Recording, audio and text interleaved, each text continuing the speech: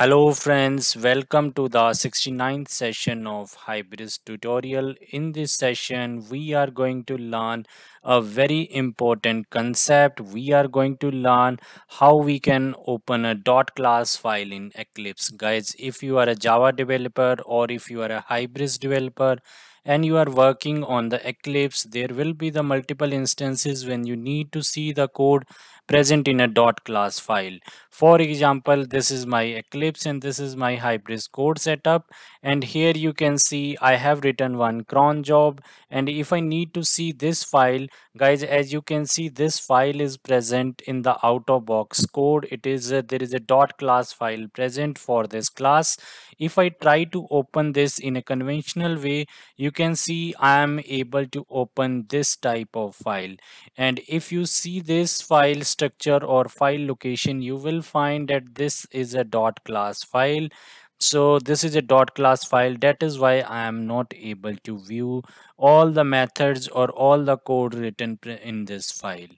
So the question is how we can you know open a dot class file how we can view the code present in a dot class file that is what we are going to learn in this video.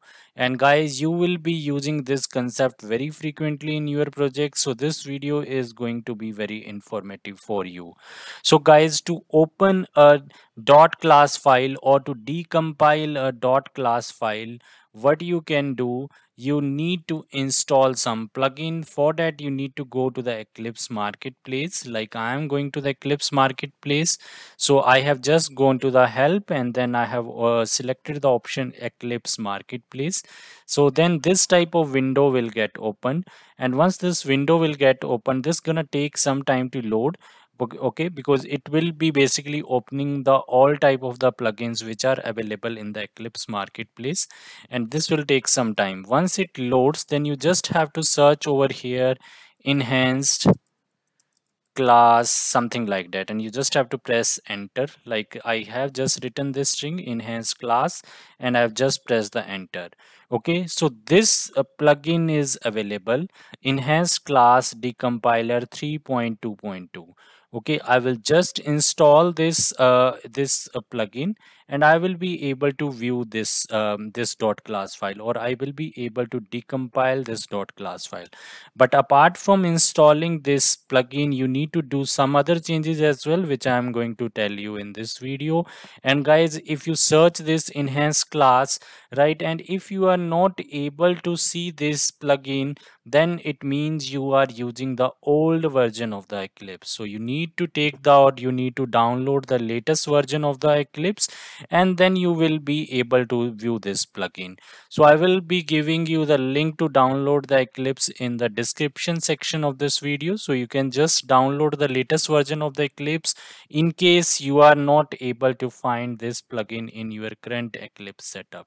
Okay but for now i have the latest version of the eclipse and if i just show you the latest which version i have in the eclipse we can just see about eclipse ide so you can see this is the version i have. This version was released in the june 2021 and there can be the other latest versions as well present in the market. But in this version as well i have the eclipse uh, enhanced eclipse decompiler uh, plugin right? So i will be just installing that uh, uh, installing that plugin which i just showed you. For that i will again go to the eclipse marketplace and i will again search for the enhanced class decompiler plugin and i will just install it.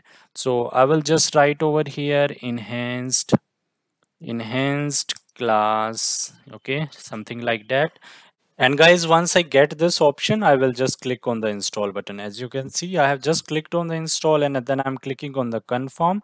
So you can see now the installation process has started. I just have to select this boolean box to uh, agree on the license agreements and then I will click on the finish button.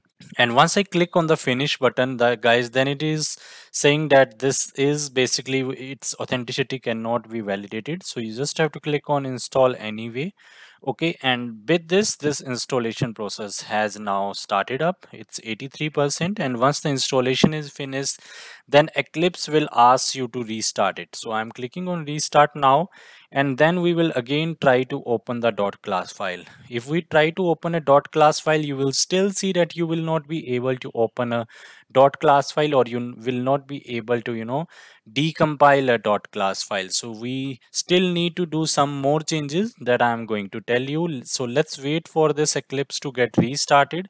And once the eclipse gets restarted then we will see what other changes which we need to perform to in order to open a dot class file so guys, once the Eclipse is started, then we will have to do some more changes. So for that, what you have to do, you just have to click on the window tab and then you just have to click on preferences. So I have clicked on window and then just have to click on the preferences.